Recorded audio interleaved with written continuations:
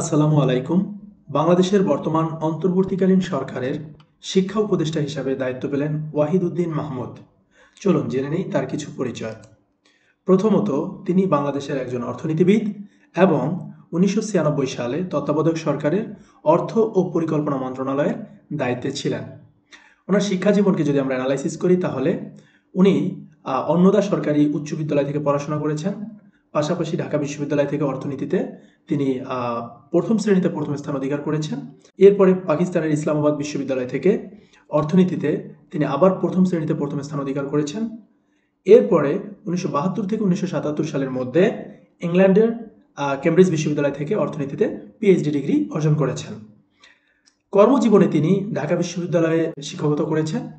এছাড়া বাংলাদেশের তত্ত্বাবধায়ক সরকারের অর্থ এবং পরিকল্পনা মন্ত্রণালয়ের দায়িত্বে ছিলেন।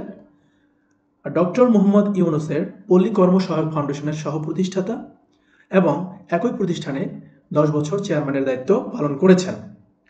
তিনি বর্তমানে লন্ডন স্কুল অব ইকোনমিক্স ভিত্তিক ইন্টারন্যাশনাল গ্রোথ সেন্টার ও জাতিসংঘের কমিটি ফর ডেভেলপমেন্ট পলিসির সদস্য।